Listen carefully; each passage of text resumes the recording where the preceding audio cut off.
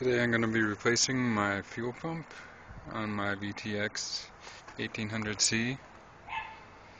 This is my old fuel pump and being the curious person I am I took it all apart to see what was going on with it but it's sealed up pretty good.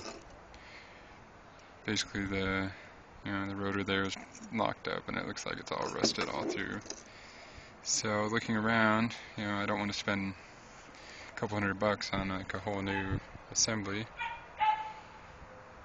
I decided I'd look around and just replace the pump and uh, go on eBay, look for an E8229 um, made by Airtex. Found this one for under $20 shipped. Comes with uh, you know parts here, even the little uh, holder ring there. Seems to be pretty near an exact copy. The original is in uh, a Denso 195130.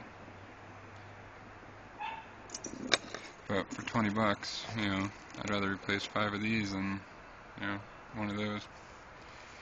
Looks like even the little rubber part that came with it will match up with the filter part there.